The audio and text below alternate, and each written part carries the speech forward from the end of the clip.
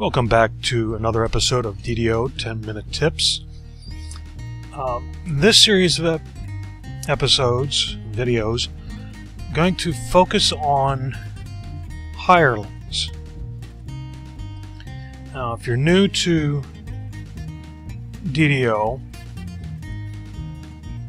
you will probably want to get a hireling until you get the hang of how things work and play. Uh, when you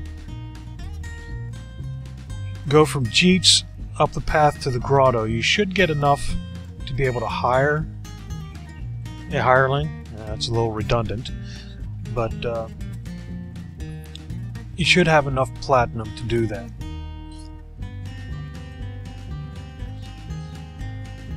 Now, the hirelings in Korthos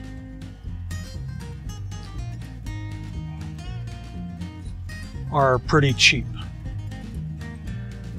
They run about five gold pieces, so it really doesn't take all that much to be able to get one. Now, when you get a hireling, uh, some things you should be aware of. Um, there are two types of hirelings. There's a standard hireling that you get from hireling vendors, and then there's the gold seal hirelings that you can get through the DDO store. Uh, the standard hirelings can only be summoned at the near where you came into a, a, quest. You get too far away, you won't be able to summon them. Gold Seal hirelings can be summoned anywhere along the way.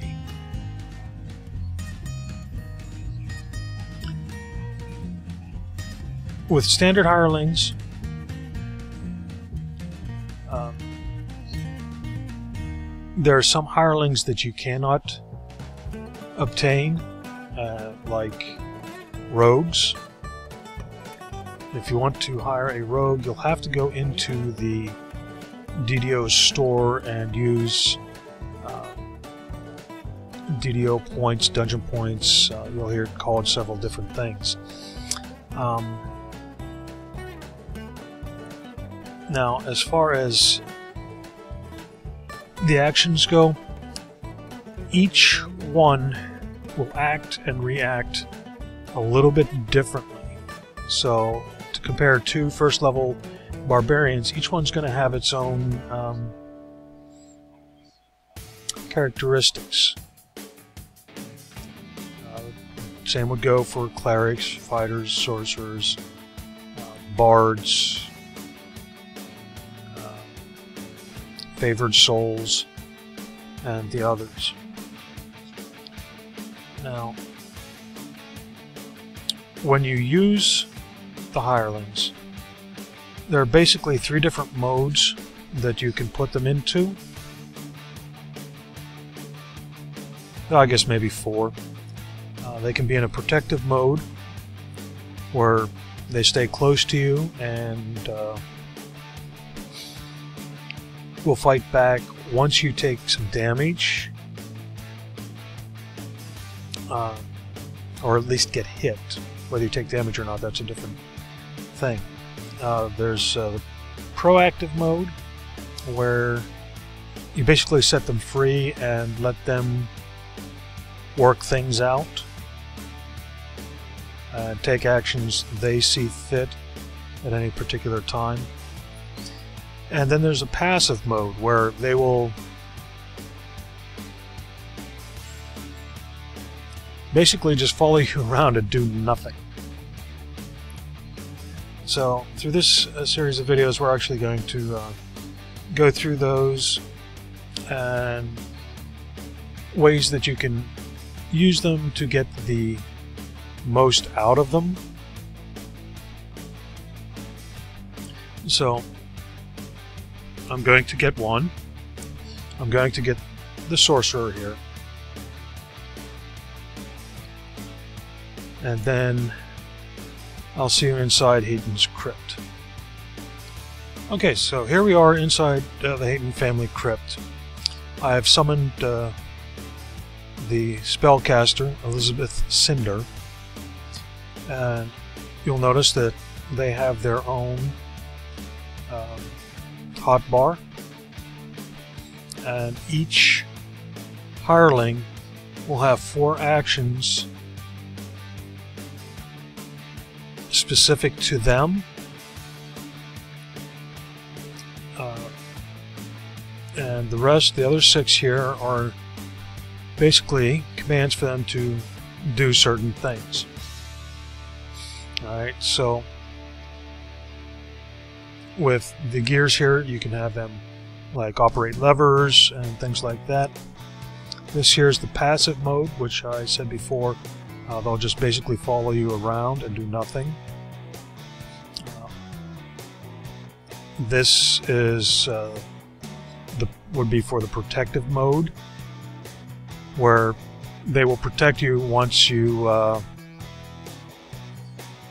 get hit.